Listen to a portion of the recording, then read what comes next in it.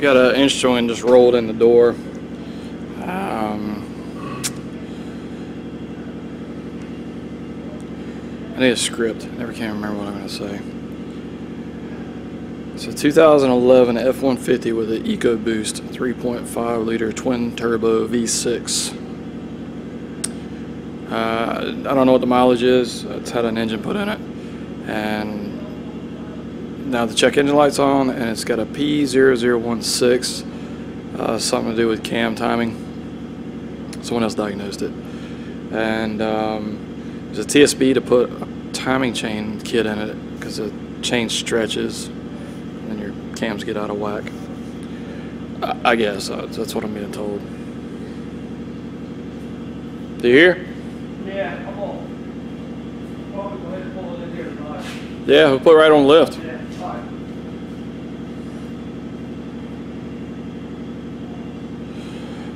Uh, rear axle seal on a F550. Great. Uh, where was I?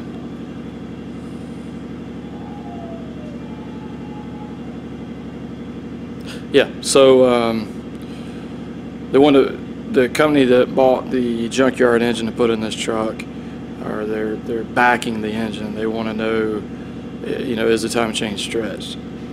So I removed the right hand valve cover and went in with a borescope to look at the amount of tensioner that is sticking out to push on the chain. Let's have a look at that. There's the truck. Not a bad looking truck.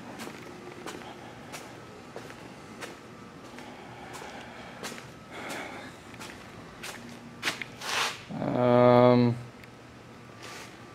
typical four-wheel drive F-150.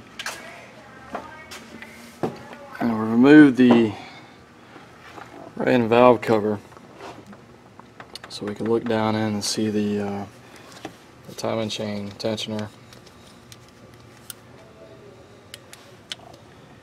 Which way down in there. Now you can see it. I could see it. I could see the teeth. I don't know if you'll be able to see it though. Even if I zoom in, let me try. Let me try to zoom in. There's the tensioner and the teeth that are exposed. And the general rule of thumb is anything over five is stretched way beyond serviceable use. And we have six teeth showing. Now let's check it out with the borescope.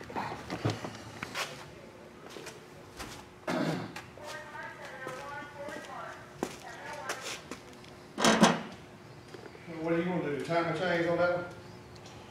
They still want me to tear the thing apart. I took it, I took the valve cover off and looked down in there to see the tensioner is just out as far as it can possibly go. That ain't enough for them.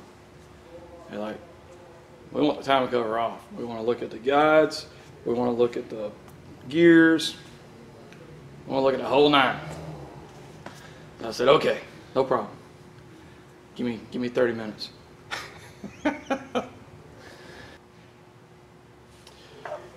So this is my borescope, and it's just a cable. And I've just got it stuck to a screwdriver because it's really flexible. And when you're going, depending on where you're going with it, um, it can curl up on you. So I just taped it to my screwdriver. There's the end of it, and it's that's the business end. And then this is just a USB. Connects to any smartphone.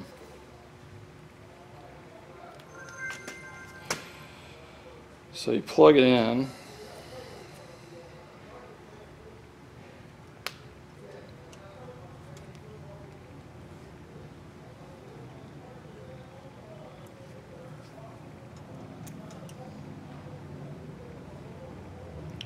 Easier said than done. And we are in operation. And it looks like that. Get rid of that glare here. And now we're get rid of the ads. And now we're borescoping. So right now I'm looking at that wall over there. And then, so there's that label. Hey, right here, let me film this real quick. I need your assistance while I'm doing this.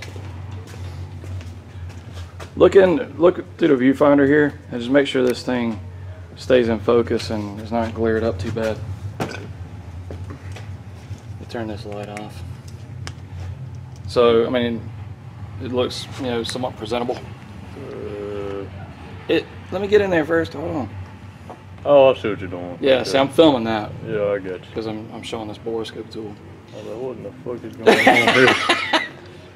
All right, so me do another narrating here. So I'm just gonna take this. Can you see this? Like, yeah, Can you see it now? yeah. So I'm just gonna take this and uh, go down in between the timing chain. And we'll see if we can see this uh, tensioner teeth on this tensioner doodad thingy. Well, Bob. All right, so that right there is the tensioner, and that's the guide. And that's the body of the tensioner. The tensioner goes out. How's my finger looking there?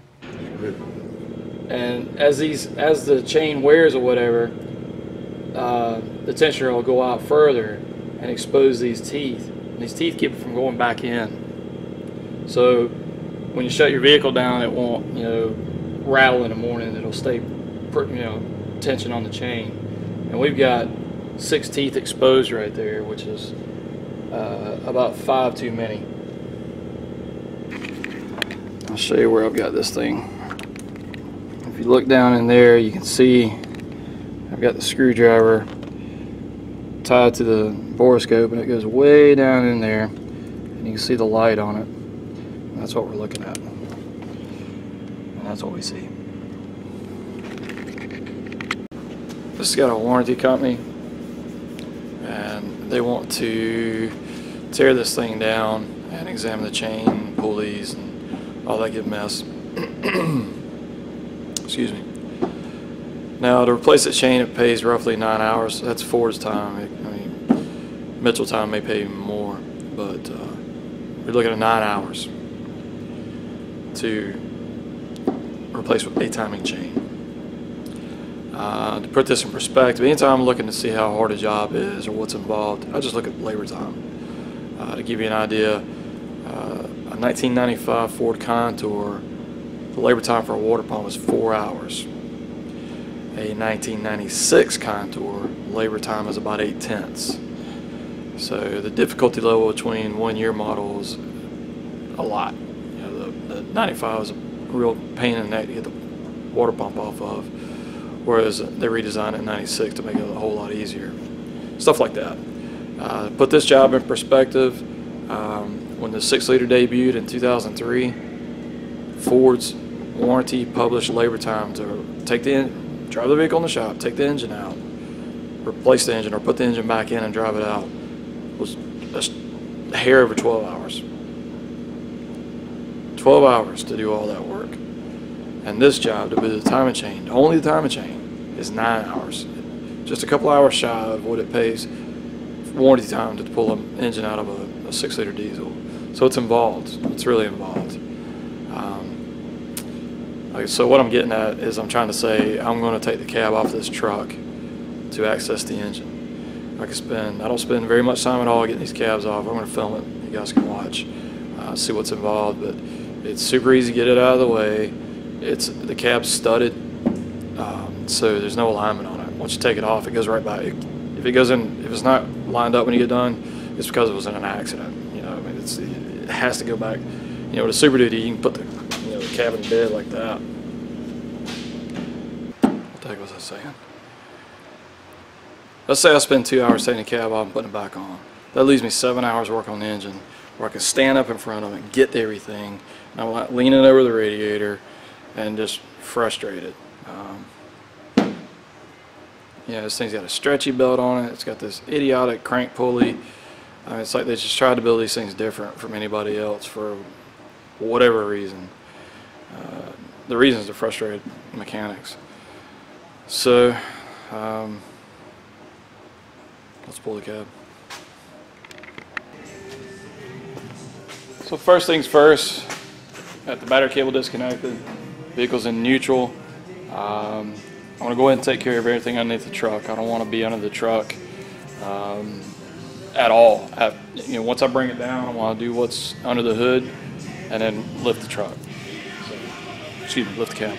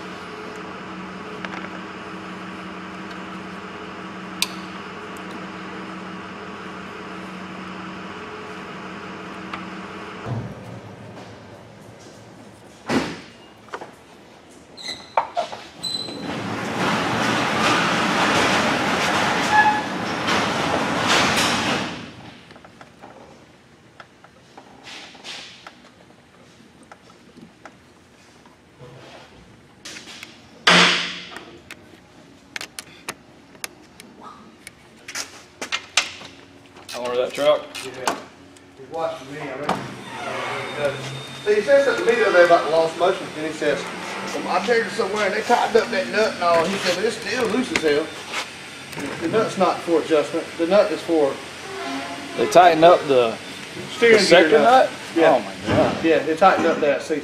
So he now you probably don't have any something about the returnability. Loose plate, and he said he carried it somewhere and they tightened up the nut on the steering gear. Fucking gear is wow, you don't do that. Yeah, you don't do that. I'm just going to let it roll with his rotating tires and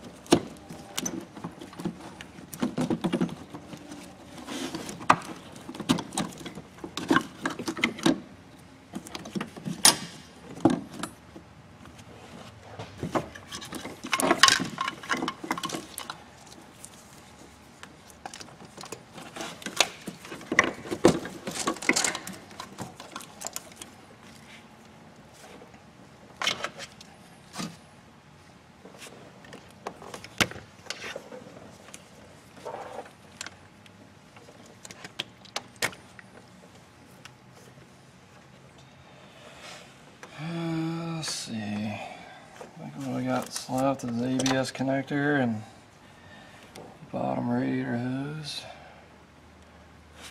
Alright, I lift it.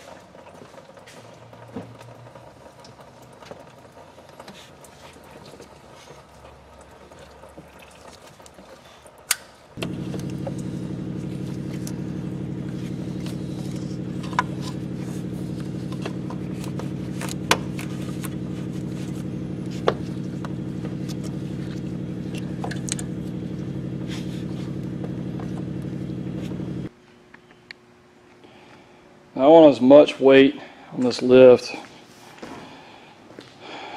as far back as possible. So it's an asymmetric lift. I don't want the body way up front because it's going to be front heavy. So my goal is to get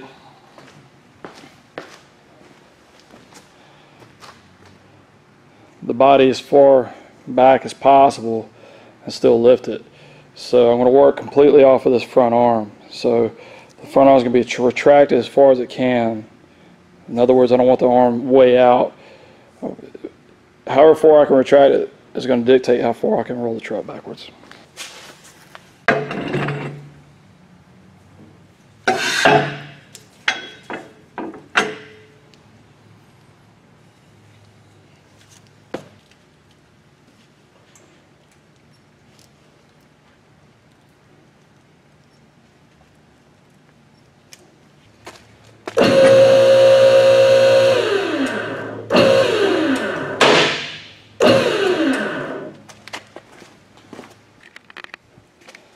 Always a snag in this process. A lot of times things can't go smooth. And I didn't pay attention, this thing has running boards. Um, no big deal, right? However, that running board extends past the body and under the bed. And it will hit the bed right there. No good. I won't be able to lift the body up enough to roll the truck back. And I've already took the thing off the lift. Would have been easier to drop those running boards when it was on the lift. So this kind of hinders the process and makes the process longer. But those running boards got to come off. It, it cannot be lifted with those on there.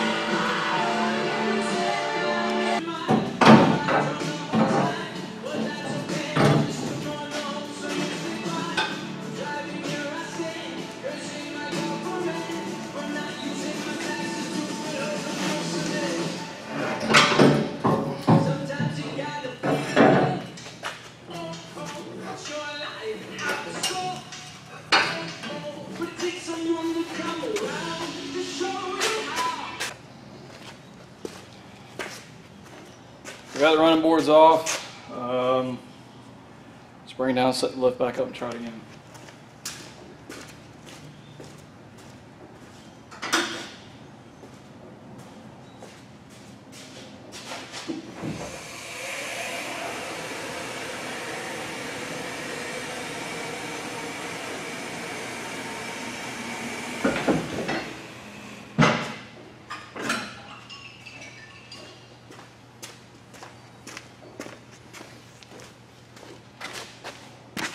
Thing goes into turbo mode when we uh, when you bring it down.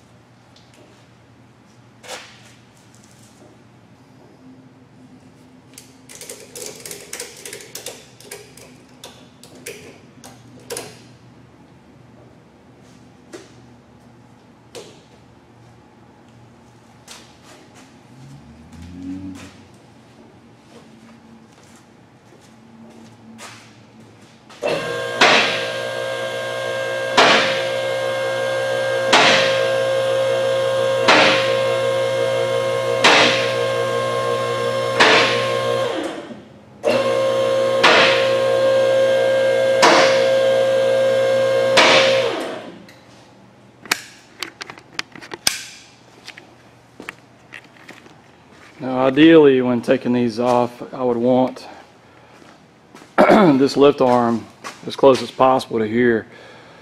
But I'd already set it up with the running boards in mind, and I'm not going to be back here too much because the lower this lift arm is from body, the more you know you're you're going to be bumping into it with your noggin. So um, this lift would have gone. This lift, if I'd put the pad all the way here, well, yeah, it'd clear it. This lift would be, this arm would be closer to the bottom of the body here. But I'm really wanting to access this front here. And, um, you know, it's just, it's just much easier. I mean, this is really, really easy to get to now and access everything.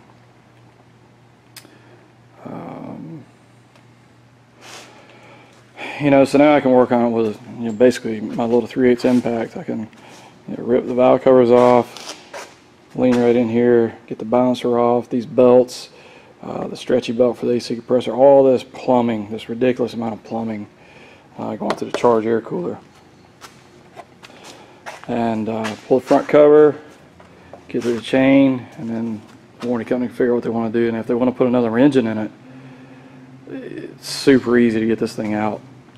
I mean, you could put a complete engine in, just come right in with a cherry picker and drop it in. That's really, really easy to do. You don't have to fight with the body and take the radiator out and all that mess.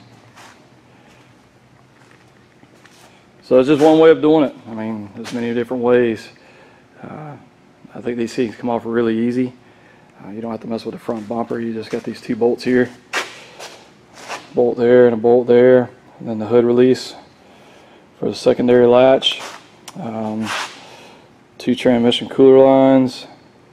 Bottom hose, top hose, heater hoses, two AC lines, wiring, uh, steering shaft, brake master.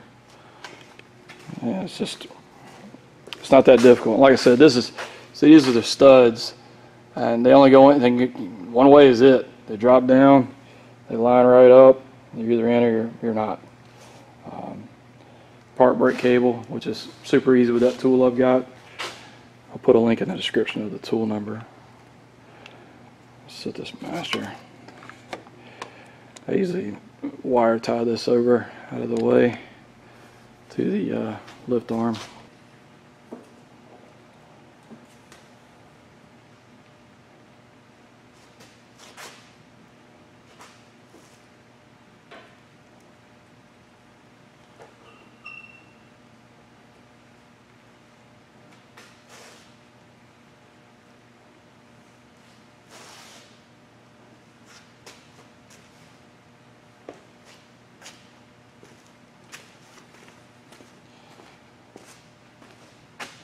Basically, I'm trying to keep the mash zone upright so it doesn't leak out fluid out of the cap, and trying to keep the lines in a relaxed, relaxed matter.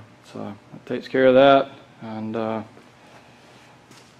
we're gonna call it an evening and start again Monday. They